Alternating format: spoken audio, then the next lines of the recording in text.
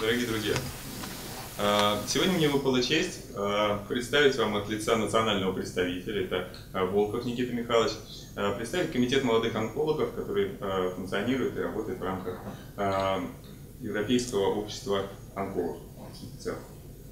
Что можно сказать про ЭСМО? ЭСМО, в принципе, это довольно крупное международное профессиональное сообщество. Оно включает в себя более 10 тысяч членов из более чем 120 стран мира. При этом уровень э, образовательной деятельности, уровень научной деятельности, он поддерживается за счет более чем 500 лидеров в различных областях онкологии, которые принимают активное участие в работе этого научного общества. При этом отдельное внимание общество выделяет еще и региональным интересам, то есть тем проблемам, которые есть в каждой отдельно взятой стране, и максимально проводятся попытки для того, чтобы учитывать эти интересы и проблемы, которые есть. Это производится за счет а, фактически того, что фактически каждая из стран, участников ЭСМА, она а, имеет своего национального представителя. Кроме того, большое количество программ, а, научных конгрессов, образовательных инициатив, которые проводятся в рамках ЭСМА, проводятся э, в тесном взаимодействии с другими международными научными сообществами, которые могут быть немножко лишь косвенно связаны с онкологией, но при этом э, функционируют в общем поле э, медицины. При этом перечислить все, что было создано под эгидой ЭСМы, конечно, практически невозможно. Это и довольно обширный интернет-ресурс, который включает в себя уникальные научные разделы и образовательный портал. Ежегодно Э, формируются, разрабатываются и совершенствуются практические рекомендации, которыми мы можем с вами пользоваться в нашей ежедневной научной э, э, клинической практике. Постоянно издаются учебники, книжные серии, журналы, в том числе, вы знаете, анал онкологии, это один из самых высоко цитируемых журналов Э, на настоящий момент. Э, проводится большое количество ежегодных э, конгрессов, образовательных программ, конференций. Ну, это не так актуально для России, но тем не менее проводятся еще экзамены и сертификационные циклы, которые требуются для непосредственного участия в клинической работе.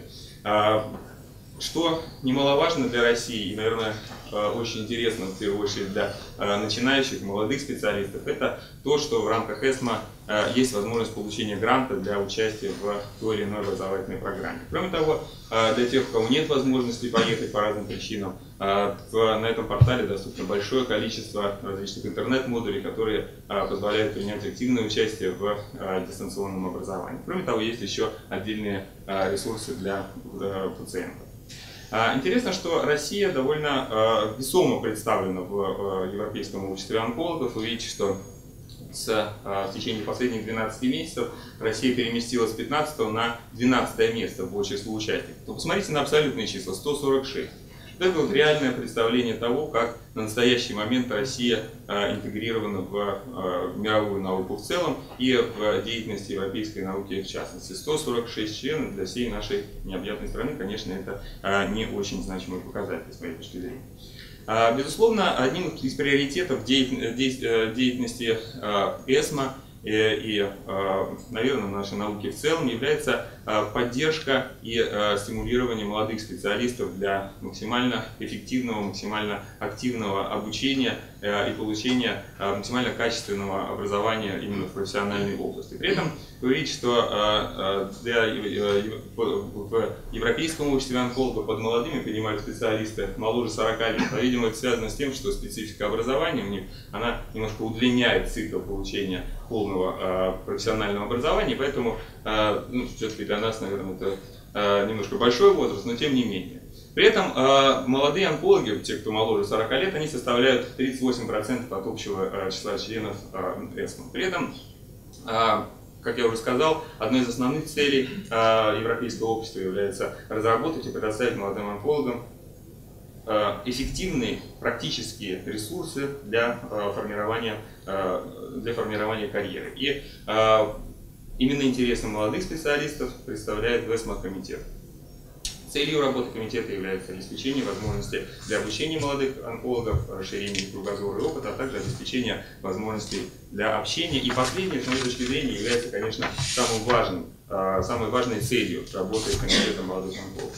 С точки зрения структуры есть председатель, это Рафаэль Калифана, известный специалист по лечению внутрикоклеточного рака легкого. Есть целая сеть национальных представителей, которые периодически избираются. И э, видите, что есть представители из России, Никита Волков, 11-13, что, в общем-то, довольно значимо. А при этом интересно, что в России сложилась немножко такая ситуация необычная для других стран, потому что у нас больше половины 52% а, всех членов ЭСМА ну, приходится на, именно на э, долю молодых специалистов, то есть тех, кто моложе 40 лет. А, на самом деле усилия, которые прикладывает ЭСМА к тому, чтобы помочь молодым начинающим специалистам э, получить ту информацию, которая им нужна, и э, максимально сделать это максимально эффективно за э, кратчайшие сроки, при этом наиболее широко и при этом, чтобы была возможность активно применить впоследствии уже в своей клинической практике, проводится большое количество научных образовательных программ, есть интернет-модули и так далее. Но самое главное, что делает комитет молодых онкологов ЭСМА, большому счету, это он помогает молодым специалистам, которые что-то начинают, у них нет широкой сети разветвленной а, контактов, а, это, он помогает им интегрироваться вот это вот международное, международное профессиональное сообщество. И он облегчает вот этот вот начальный этап а, интеграции, когда ну, еще требуются определенные усилия.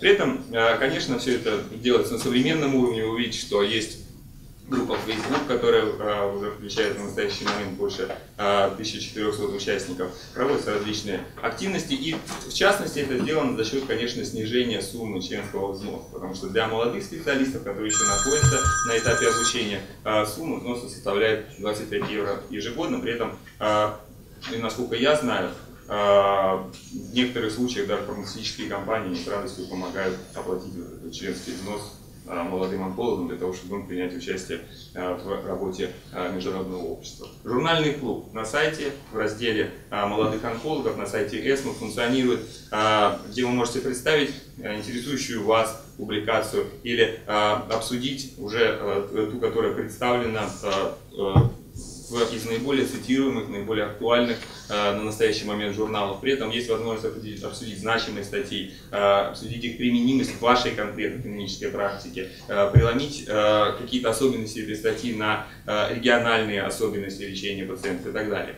Проводится на регулярной основе, проводится, э, ну, условно, конкурс, да, в случае месяца, когда вы можете представить э, какие-то изображения, которые вам понадобились, компьютерные томограммы или изображения каких-то клинических ситуаций, и э, вы даете к ним три варианта ответов, соответственно, тот, кто принимает участие в этом, выбирает из одного из трех вариантов, и в случае, если, а, ну, независимо от, от, того, правильно он выбрал или нет, он получает доступ к клинической информации об этом пациенте, и, соответственно, уже может обсудить эту клиническую ситуацию и высказать свои соображения, поделиться каким-то совместным опытом а, и так далее. А, в 2014 году сессия молодых ученых на ЭСМО она была представлена довольно широко. И а, было большое количество секций, например, Визалиус Топ, где в этом году выступал Зелинский, а, и он в течение часа общался, по большому счету, с, с трибуны, с аудиторией и рассказывал о том, что лично он делал для того, чтобы а, его карьера она сложилась успешно. Проходит форум молодых онкологов, где обсуждаются в первую очередь практические вопросы проведения э, трансляционных и научных исследований в онкологии. Есть сессия, э, специальная сессия молодых онкологов, э, в которой представляется педиатров э, ЭСМО. И проводится обсуждение дальнейших перспектив развития этих конкурсов. А, утренняя секция для молодых онкологов, с моей точки зрения, это самое интересное мероприятие было, потому что оно проводилось с учетом тех проблем, которые редко обсуждаются на самом деле в мировой литературе, а устоявшимся специалистам, конечно, ну, не всегда просто поднимать такие вопросы, потому что, например, в этом году там активно обсуждался вопрос а, взаимодействия с прессой, баланса между работой и отдыхом, и, конечно, отношений с пациентами. Вот. Формирование этих отношений. Там выступали психологи, которые а, рассказывали о том, а, как с психологической точки зрения а, можно помочь правильному построению этих взаимоотношений. В этом году были представлены результаты опроса ЭСМА по эмоциональному выгоранию. И эти результаты вы можете увидеть на, в разделе молодых онкологов на сайте ЭСМА, и, соответственно, они получили довольно широкое распространение в прессе. Большое число, ЭСМА проводит класс, ну, огромное число различных образовательных программ. Вот у меня вопрос есть, а кто э, вообще слышал про образовательные программы ЭСМА? Поднимите руки, пожалуйста. Немного. А, ну вот я знаю, что и многие здесь присутствующих, они даже принимали участие в этих программах. И я сам а, подавал. Это абсолютно легко. Для того, чтобы это сделать, нужно пройти онлайн-регистрацию, нужно представить CV, нужно а, написать а, письмо мотивации, в котором описать, почему вы хотите это сделать, и еще представить клинический случай из вашей практики, в котором вы знаете все, на трех-пяти слайдах. И а, я абсолютно серьезно говорю, что это абсолютно легко, это требует небольшого количества времени. И, э, например, э, из всех случаев, когда я подавал заявки, у меня отклонили только однажды. То есть, в принципе, там количество мест, оно достаточное для того, чтобы э, большому количеству специалистов из России принять участие э, в этих образовательных циклах. Есть и более крупные, более объемные э, программы, называются не стипендии ЭСМО, в которых э, э, проводятся более длительные стажировки в различных центрах, в том числе и по клиническим дисциплинам, и по научным, и по трансляционным исследованиям. Вы видите, что с 1989 года было потрачено 6,3 миллиона евро на, в общей сумме на эту программу. Было, в ней приняло участие 330 участников, 93, 93 принимающих центров по всему миру. Все это направлено на интеграцию науки, интеграцию клинической практики. Конечно, предоставление возможности к а, широкому активному образованию для всех а, специалистов, которые а, являются членами в данном случае ЭСМО. Какие отдельные есть варианты? Во-первых, визит в научный центр, который обычно 3-4 дня, где вас знакомят с какой-то методикой и дают какие-то практические аспекты того, как можно ей воспользоваться и для чего можно ее применить. Визит в клинические центры ЭСМА – это более длительная э, стажировка, 6 недель, э, где, конечно, вас ближе знакомят со стандартами медицинской помощи, с тем, э, с подходами к с организации медицинской помощи в основных центрах. Кроме того, есть еще стипендии по паллиативной помощи, они распространяются на всех специалистов, не только тех, которые моложе 40 лет. А, и а, там есть наблюдательные программы, э, исследовательские программы. В рамках них в а, крупных центрах, которые интегративной помощи в онкологии, вы можете пройти в том числе и стажировку. Есть, как я уже говорил, более длительные стажировки. Это трансляционная стипендия ЕСМ, она распространяется на два года, где фактически вы. Э, выбираете лабораторию, куда вы хотите поехать, течение этого времени выполняете свой собственный проект, в котором вы э, принимаете непосредственное участие. Есть точно так же клиническая стипендия, если она распространяется на один год, э, и э, в рамках нее вы получаете, по большому счету, навык лечения той или иной нозологии в современном центре.